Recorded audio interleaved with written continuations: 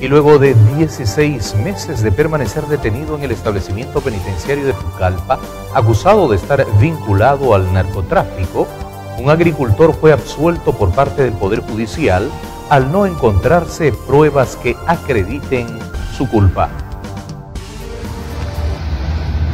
El colegiado penal permanente no encontró responsabilidad penal y decidió absolver a Melvis Fritz de la Cruz Velázquez, acusado de tráfico ilícito de drogas en Yuyapichis, en el caserío Monterrico. Las juezas Acela Barbarán Ríos, Janet Pizarro Osorio y Celina Pizango Ugarte fallaron a favor del agricultor y ordenaron su inmediata liberación del establecimiento penitenciario de Pucallpa tras permanecer 16 meses de prisión preventiva. La fiscal Daisy Peña Trujillo solicitaba 15 años de prisión contra el hombre del campo y la Procuraduría pedía 300 mil soles. Sin embargo, el juzgado no encontró fundamentos que acrediten la responsabilidad en este mediático caso que llamó la atención de los medios de comunicación.